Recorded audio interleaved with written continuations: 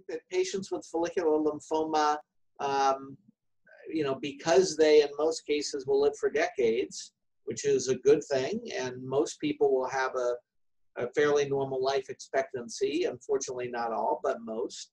Um, having treatment options for patients, particularly uh, as they've been through other treatments, uh, having additional options um, for when they need them is an important thing. So the the oldest treatment has been chemotherapy, and one would also say radiation therapy.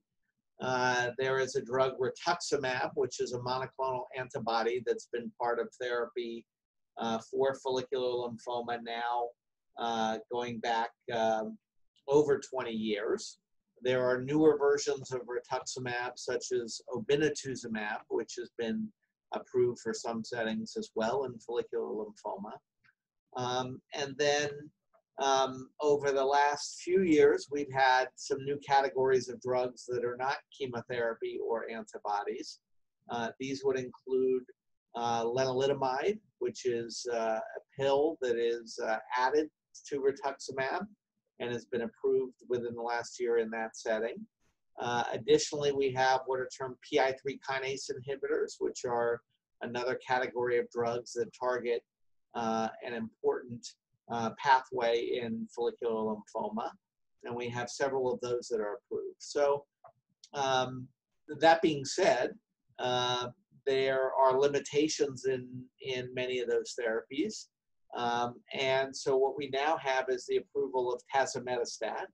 Tazemetostat is an inhibitor of uh, a target called EZH2, mutations for EZH2 are seen in a subset of patients with follicular lymphoma, but EZH2 is also relevant to those patients who don't have uh, a mutation in EZH2 because the EZH2 associated pathways are still relevant even if they're not turned on or, or activated through a mutation.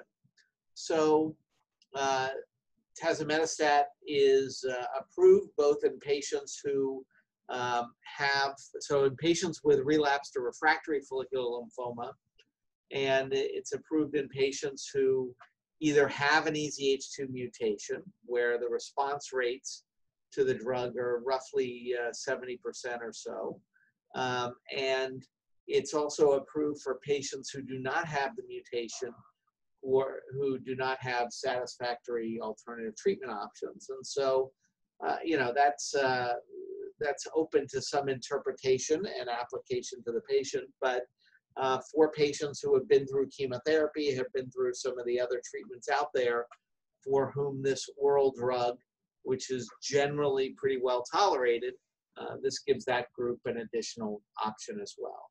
So I think it's one more option for patients with follicular lymphoma um, where, uh, you know, it's an oral agent that patients can take at home, is pretty well tolerated, and uh, gives people an option, um, perhaps after some of the other treatments uh, either have not worked or the disease has relapsed or may not be uh, good options for the patient, i.e., they have uh, significant chemotherapy associated toxicities and other things that may make them less attractive to a patient.